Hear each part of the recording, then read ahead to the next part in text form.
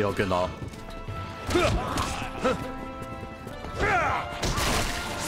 Ihr habt's einmal, ich brauche nämlich gleich Munition.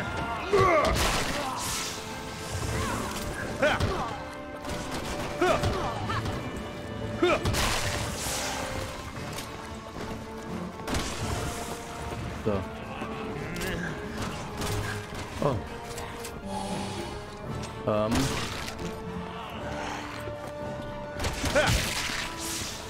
Jetzt noch sterben? Ihr neben all der Munition, was ich kriegen kann?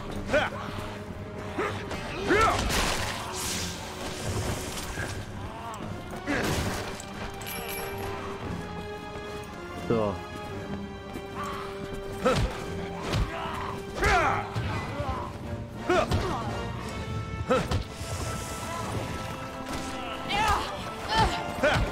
Da ist es jetzt mal direkt gemütlich, mal gegen Zombies zu fighten. Gut? Nein. Man einfach. Achso, ich hab Chaos da mehr.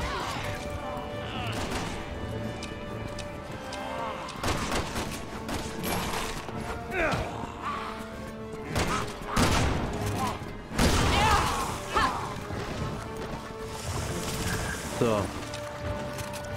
Also mal nachladen.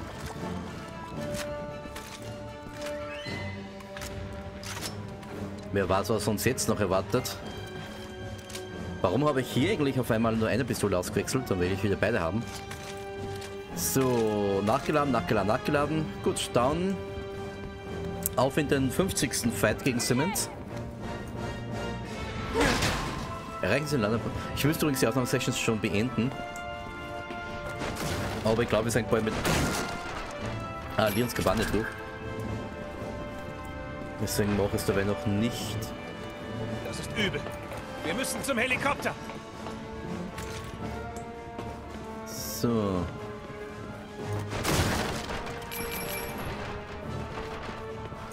Das haben wir.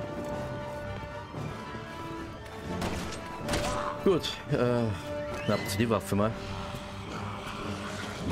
Da ist er wieder.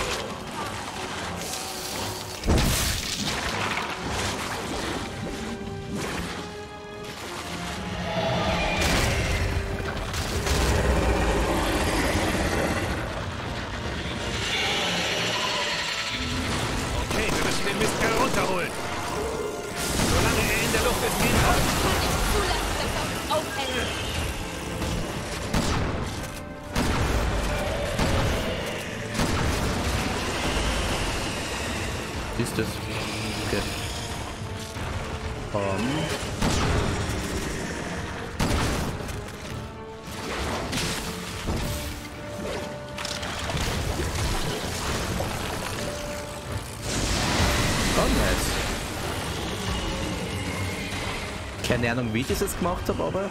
Oh, oh, das ist nice. Er will seinen Kopf schützen. Wird dann absolvieren ein schöner Schock.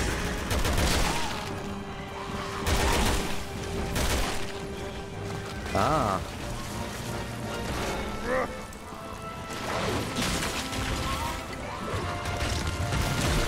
So, frisieren bitte.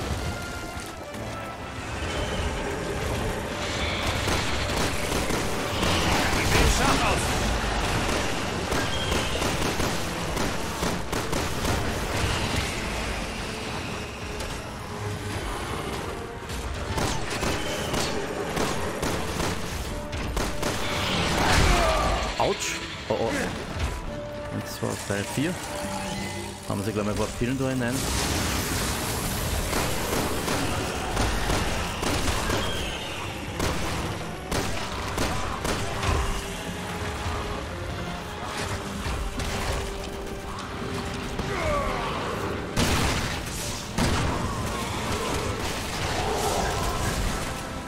So, ich hol mir mal ein wenig Munition von den Kisten da.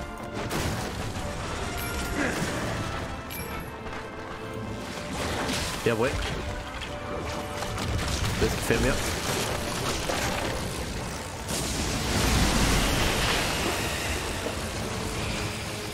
Das wiederholen wir gleich.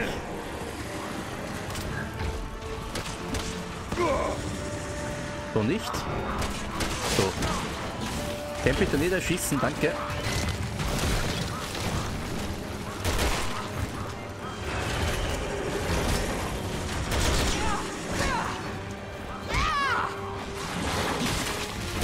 Wir den schon? Jawohl. Den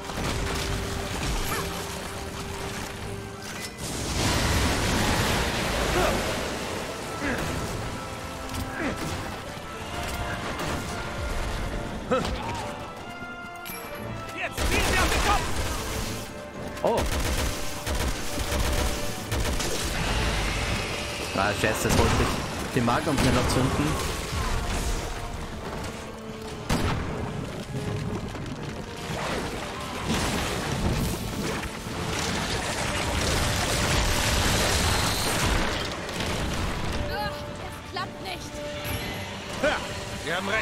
Ist Zeitverschwendung. Scheiße. Hat der gerade gesagt zum Scheißen. So. Ups, bitte nicht. Was passiert da? So.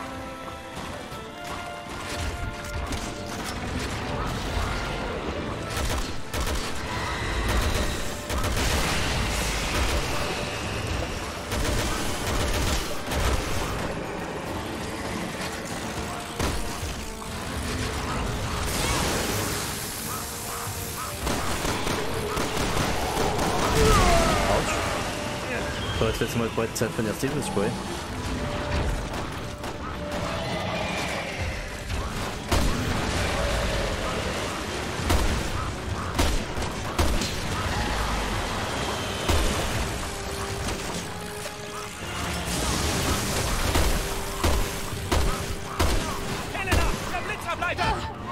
Ah! Ja, ich kann ihn nicht nehmen.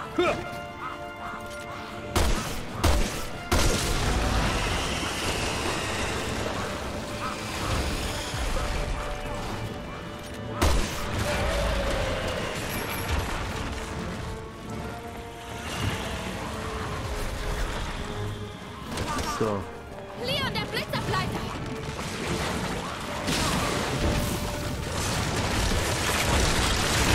Ja. Und jetzt explodier bitte. Und stirb. Oh oh. Oh oh.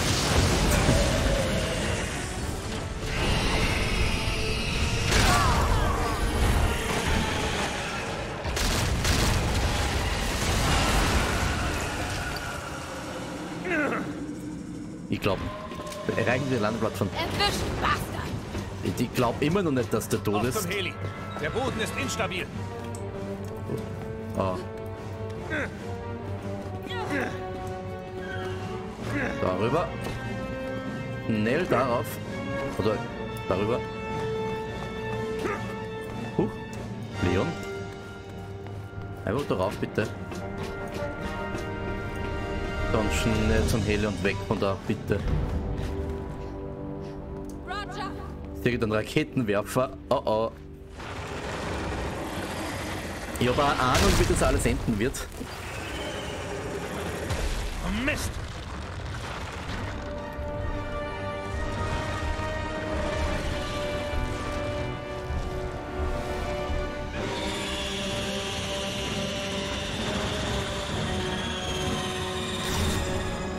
Beendet man's, oder? Und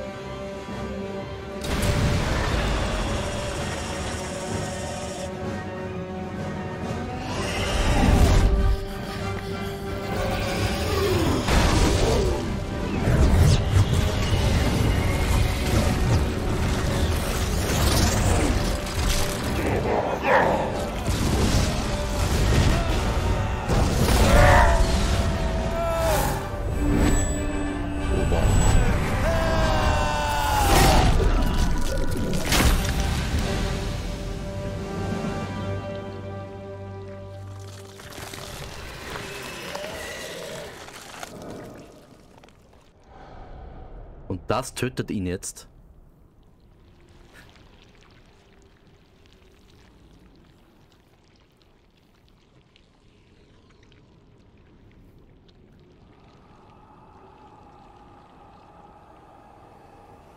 Boah, ist irgendwie cool.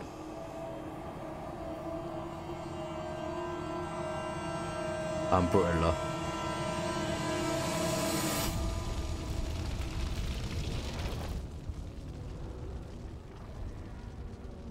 Für meine Schwester. Na los. Auf zum Hubschrauber.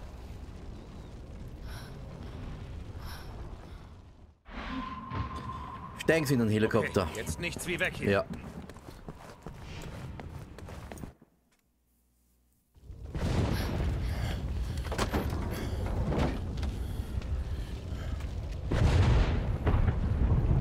War das Geschenk?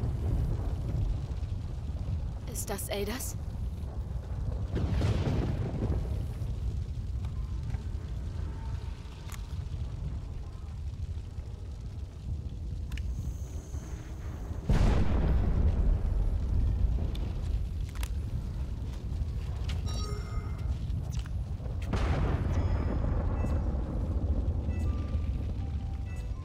Leon, das sind... Beweise für Simmons Schuld. Und somit für ihre Unschuld. Unsere Unschuld. Ich brauch das nicht. Helena. Gute Nachrichten, Leon. Wir haben einen Weg gefunden, den News zu besiegen. Roger, wir kommen zurück. Bis später. Dann los.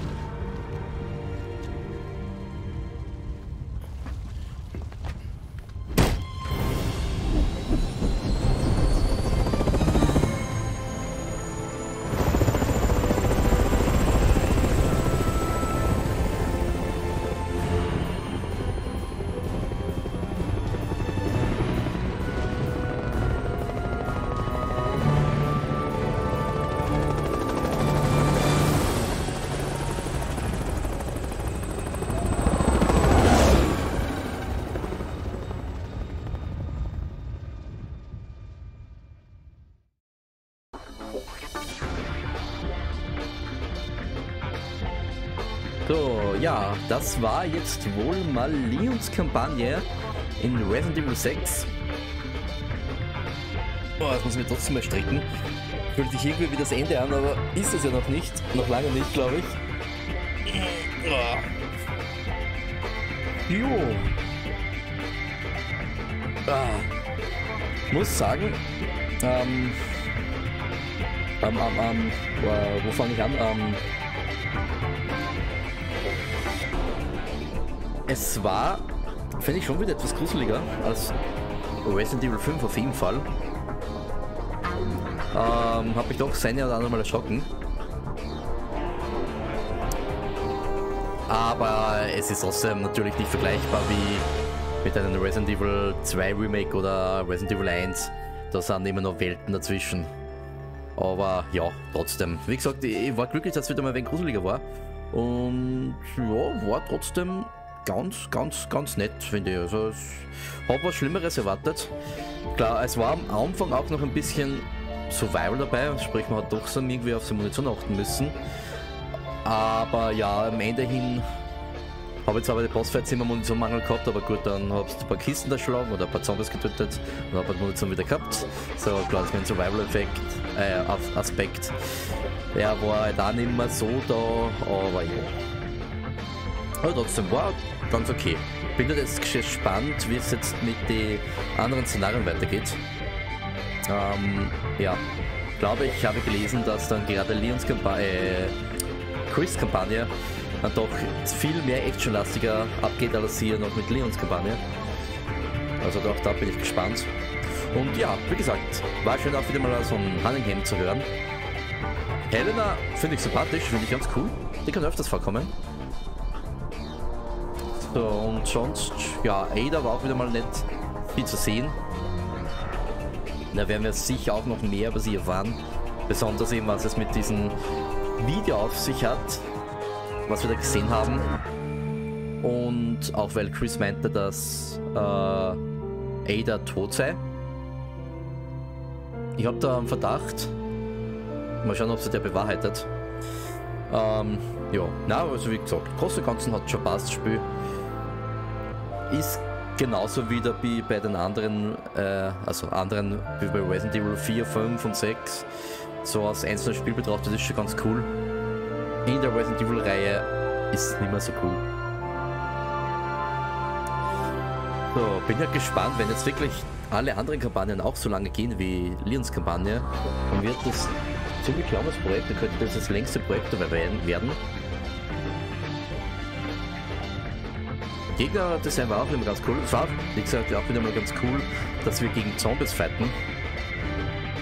Jetzt hatten wir ja doch zwei Dual-Teile, wo wir gegen äh, ja, von Parasiten besessenen Menschen gefightet haben und ge äh, ja. Und jetzt hatten wir wieder mal Zombies als Gegner. Ganz klassisch. Haben einen neuen Virus, den C-Virus. Das hatten wir ja schon den T, den G und jetzt haben wir eben das C-Virus. Heute haben wir das ganze Alphabet durch, wenn es so weitergeht. So. Aber ja, wie gesagt, bin gespannt, wie es jetzt weitergeht mit Chris. Und ja, dann, sobald wir dann mit Resident Evil 6 durch sind, geht es dann mit Resident Evil 7 weiter und dann wird es wieder richtig interessant. Das freue ich mich schon. Ja, was kann ich sonst noch erzählen? Außer dass meine... Äh, oh, die Schwester. Das war, das war die einzige Stelle, wo man ähm, Helena ein bisschen am ähm, Sack gegangen ist. so, Schwester verwandelt sich, schaut überhaupt nichts mehr Menschliches an sich, aber sie will sie noch retten. Aber gut, ist ja die Schwester und da kann man es vielleicht ein bisschen nachvollziehen. Aber gut. Ja, wie gesagt, äh, mein, ich gestalte ja gerade mein Zimmer etwas neu. Das ist auch volle Gange. Heute das erste Mal aufnehmen. Ähm, mit eingeschalteten LED-Streifen, den wir äh, diese Woche montiert haben, mein Zimmer an der Decke. Schaut ziemlich cool aus eigentlich. schaue mir gerade so, so rundherum um, ja, schaut schon ganz nett aus. Aber auch da geht's voran. Und ich habe jetzt dann äh, zweieinhalb Wochen Urlaub. Und da werde ich dann diesen Urlaub auf jeden Fall meinen neuen Schreibtisch bestellen und dann auch endlich meinen neuen Gaming-PC bei Hightech. Ich hoffe, ich muss, ich muss da mal bei Hightech anrufen, mich mal erkundigen, wie es ganz allgemein mit den Lieferzeiten aussieht. Weil zurzeit hört man es ja überall, dass Lieferzeiten gerade ja, dass die Lieferzeiten gerade extrem lange sind, wegen Covid und Russland-Ukraine-Konflikt und so weiter. Also bei der Autoindustrie ist es sogar ganz extrem.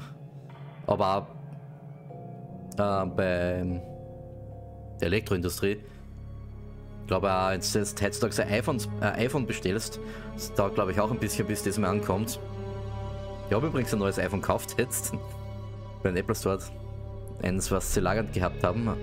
Äh, ich glaube besonderes nur iPhone 13 Pro Max, also nichts Besonderes. Habe ich übrigens vor meinem Festival noch gekauft, aber nicht aufs Festival mitgenommen. Das wollte ich dann doch nicht riskieren. Aber aus dem Rollend werde ich das dann doch mitnehmen. Weil da will ich schon ein paar schöne Fotos machen, ein paar schöne Videos. Und ja, übrigens, wenn jetzt noch jede Kampagne die Credits so lange dauern, dann habe ich keine Ahnung, äh, wie das voll quatschen soll. Mal schauen. Vielleicht werde ich dann einfach, dem wir sind sowieso schon über der Aufnahmesession Zeit, nehmen schon zwei Stunden und sechs Minuten auf.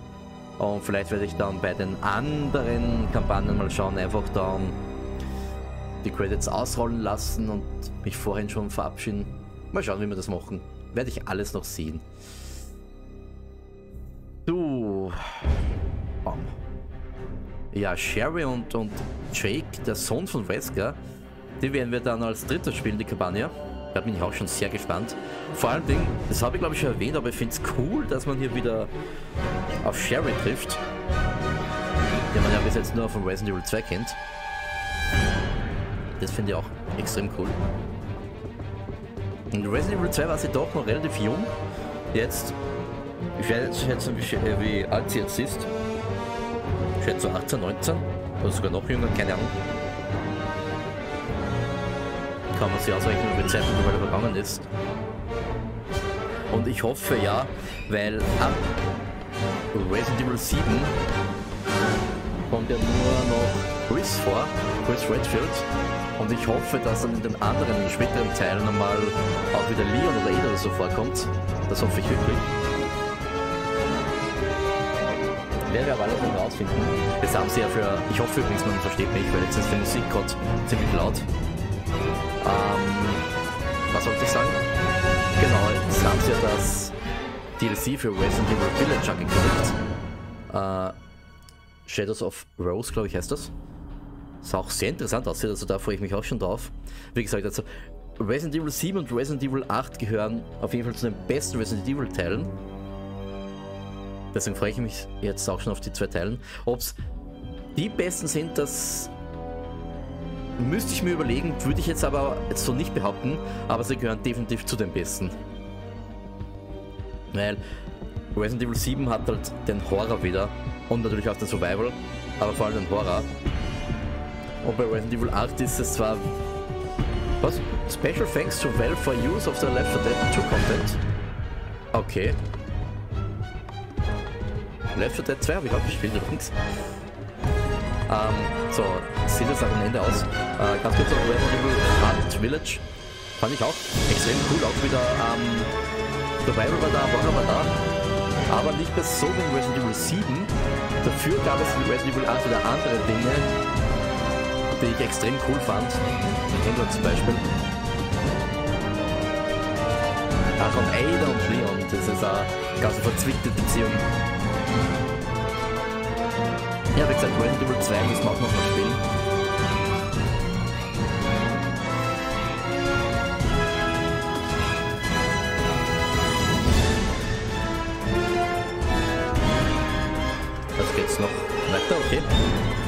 Das das war jetzt. Thank you for playing. Ja, kein Problem. Kein Problem. Ja, komm.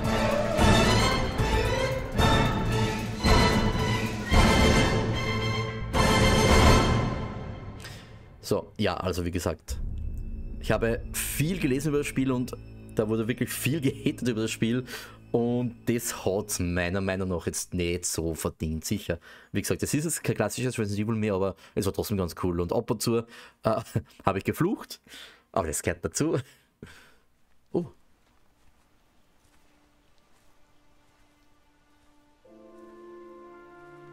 Ah, Schwester.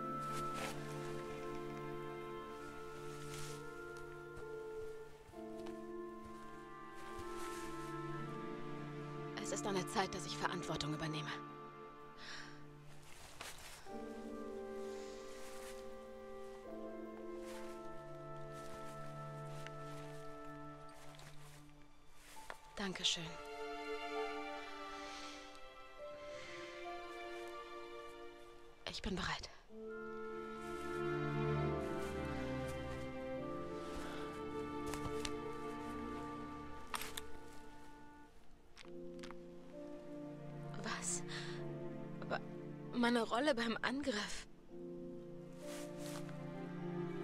Die Untersuchungskommission hat die Beweise überprüft und abgelehnt, Sie verantwortlich zu machen für Simmons Verbrechen.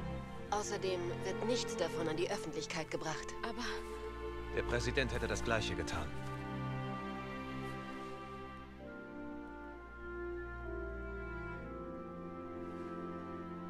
Also gut. Wollen wir uns dem Team anschließen?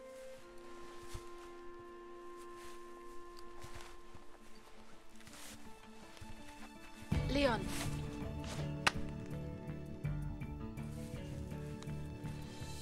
Wenn Sie sie wiedersehen.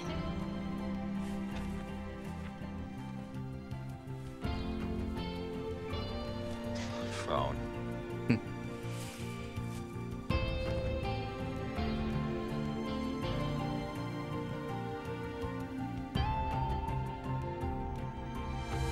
Resident Evil 6. Na, das war jetzt noch ein schönes Ende. Das hat mich gefreut. Ah, schön. Errungenschaft freigeschaltet. Immer Ärger mit den Frauen. Dazu werde ich nichts sagen. Rang A. Wir haben acht Fähigkeiten. Äh, es können nun acht Fähigkeiten gewählt werden. Oha. Wir haben Erkennungsmarke. Spiel beenden, okay. Inhalt wird gespeichert. Bitte schalten Sie den Computer nicht aus. Das hat, mich, das hat mich jetzt echt noch gefreut, das Ende. Okay, so, liebe Leute. Nehme ich schon viel zu lange auf. Ähm, ich bedanke mich fürs Zusehen. Das war noch nicht Resident Evil 6, noch lange nicht, glaube ich. Es kommen noch einige Kampagnen. Ähm, Also sehen wir uns dann wieder in der nächsten Aufnahmesession wieder. Ich muss sowieso eine wieder im Voraus aufnehmen, eben für das Tomorrowland-Wochenende. Werde vielleicht... Äh, morgen bin ich auf einem Zeltfest, morgen werde ich es nicht schaffen. Vielleicht am Sonntag. Mal schauen. Oder sonst Sonntag der Woche mal. Beziehungsweise nächstes Wochenende, da kann ich ja eh auch noch aufnehmen. Ich fliege erst dann die Woche drauf am Mittwoch los, ja. Das geht sich schon noch aus. Ja, okay, liebe Leute, vielen Dank wieder fürs Zusehen. Wir sehen uns dann wieder in der nächsten Aufnahmesession wieder. Bis dahin, bleibt gesund und ciao.